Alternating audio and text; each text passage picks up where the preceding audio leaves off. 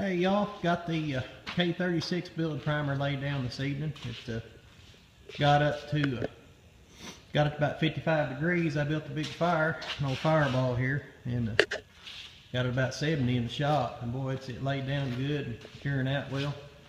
So uh, we'll let that sit probably a couple days, and then we're gonna we'll have to sand that down.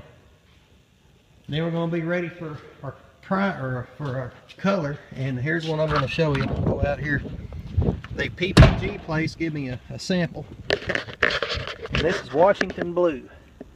And I, the best I can tell, that's the color that it was whenever uh, Pop Palmer repainted it. It was evidently yellow from the factory, but it was painted blue sometime. I think that's it. That's Washington Blue. That's the standard color 1936. So, uh, I don't know if you can, I'm going to get a shadow there.